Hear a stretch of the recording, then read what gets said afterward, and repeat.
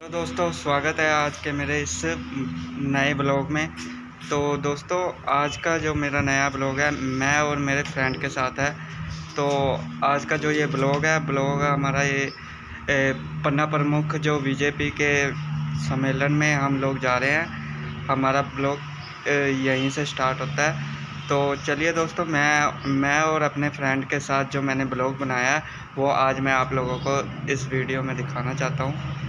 तो दोस्तों, अगर आप इस वीडियो को पहली बार देख रहे हो तो प्लीज़ मेरी वीडियो को लाइक कर देना। अगर आप मेरे चैनल पर पहली बार आए हो तो मेरे चैनल को सब्सक्राइब कर देना और बेल आइकन को प्रेस कर देना।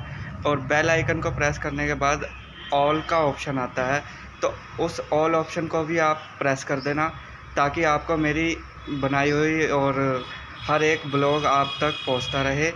तो चलिए इस ब्लॉग को स्टार्ट करते हैं। चलिए दो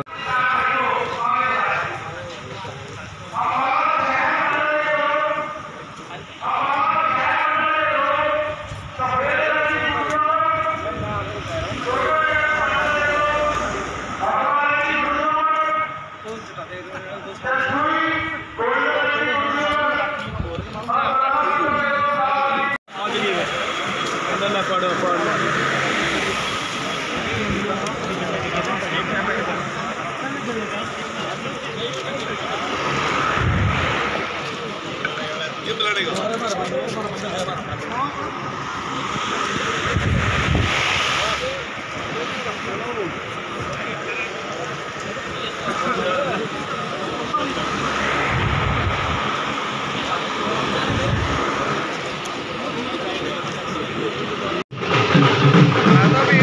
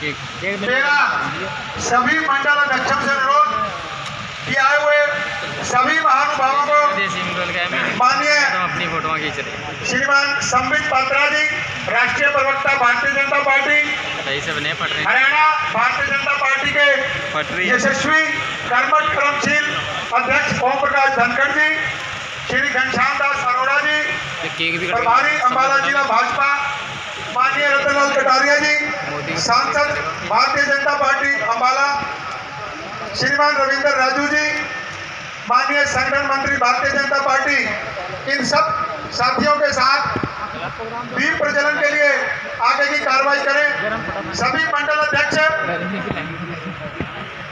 सभी मंडल छोटा अध्यक्ष फ़ोन थोड़ी है श्रीमान संबित पात्रा जी को सांसद महोदय को लेकर दीप प्रज्वलित का कार्यक्रम करवाएँगे। चल अबे बहुत है देख और का कौन सा कौन सा वही है जो पहले था मेरे पास? फिर मानी जी आप अपने पे बस अच्छा खड़े। है? पहले कौन था? वीवो का। वही है। वही है और देखी रहेगी अच्छी रेंज में है बीस हज़ार का फ़ोन है, ऐसे ही थोड़ी ओम प्रकाश धनखड़ जी, यशस्वी अध्यक्ष, भारतीय जनता पार्टी बूथ को संभालते थे उनको भी दिया गया था। उस झोले को उठाते समय कभी नरेंद्र भाई ने ये नहीं सोचा होगा कि आगे चलकर मैं किसी दिन इस देश का प्रधानमंत्री बनूं। बंधुगण, केवल और केवल ये भारतीय जनता पार्टी में संभव है। कि एक पन्ना प्रमुख, एक झोला लेकर काम करने वाला बूथ अध्यक्ष, एक साधारण दरी बिछाने वाला कार्यकर्ता